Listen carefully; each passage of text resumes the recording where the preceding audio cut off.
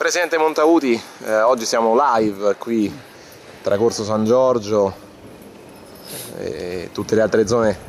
del, del cuore dell'Interamnia, no? perché questo è il percorso eh, vero, eh, quello denso dei significati dell'Interamnia, qui l'Interamnia si accenderà fra, fra qualche giorno e eh, come procedono i lavori, eh, manca davvero poco. Sì, siamo nell'ultima fase, quella un po' più complicata, quella più delicata in cui dobbiamo mettere a punto tutto. Qui in questa piazza sarà il cuore, come dicevi appunto, dell'Interamnia, dove si svolgerà un po' tutto, cerimonie iniziali, quelle conclusive, altre cose belle. E quindi ecco, siamo qui a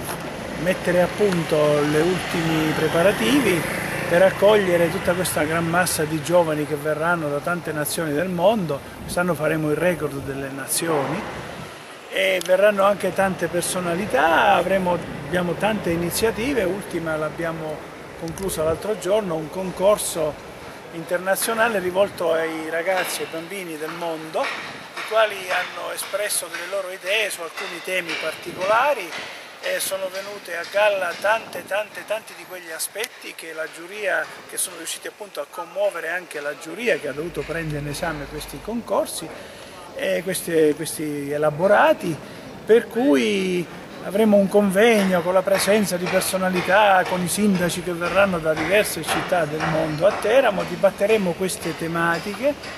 e alla fine trarremo delle conclusioni e sono delle indicazioni che i giovani danno al leader di domani, no? questo è il titolo del concorso, è come dire i giovani vogliono dire ai leader di domani, leader di domani eh, state attenti, salviamo il mondo, il mondo sta andando un pochino in rovina, allora danno delle indicazioni, danno delle dritte,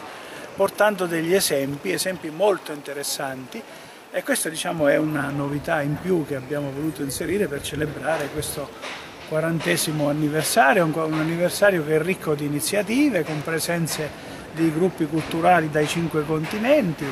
dicevo da squadre da tante nazioni, addirittura 60 nazioni anche qui di cinque continenti, quindi ecco, diciamo siamo per dar il, dar il via ad una grande festa, una festa che si ripete da tanti anni, ma che quest'anno deve avere un significato tutto suo, un significato particolare con dei contenuti forti. Speriamo di riuscire a celebrare questo anniversario. Presidente, intanto grazie e, le facciamo uh, un grosso in bocca al lupo e chiudiamo con, con un'ultima domanda. Uh, noi sappiamo perché lei è fatto così, ha sempre dimostrato di essere fatto così nel corso della sua vita e della sua carriera legata all'Interamnia. Lei una parte della sua giornata senza dubbio la dedicherà alla prossima edizione dell'Interamnia. Lei è una persona che eh, eh, si impegna sempre sul presente, l'Interamnia è quarantennale oggi, quindi si deve pensare a questo, però noi siamo sicuri che lei ha già una parte della, della sua mente rivolta alla prossima edizione. Sì, eh, soprattutto perché noi di anno in anno cerchiamo di fare delle conquiste, no? E quest'anno credo che forse riusciremo a fare un'ulteriore conquista Conquista, la conquista eh, consiste nell'allacciare rapporti con la città di Roma e col suo sindaco,